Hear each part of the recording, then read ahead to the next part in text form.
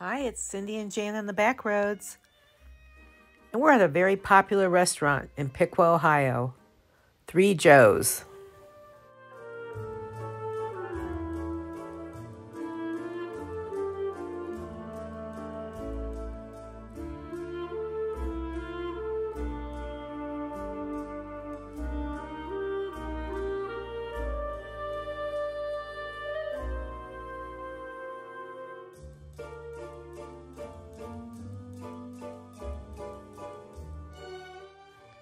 This restaurant is consistently very good and we enjoy it.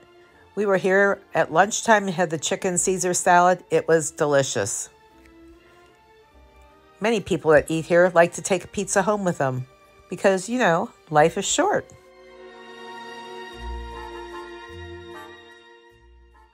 Please share this video so others can find Three Joes.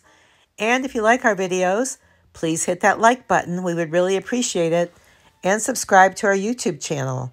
We also have a Facebook page and we hope you follow us there. We share a lot of additional information on the Facebook page about places we've been and upcoming events.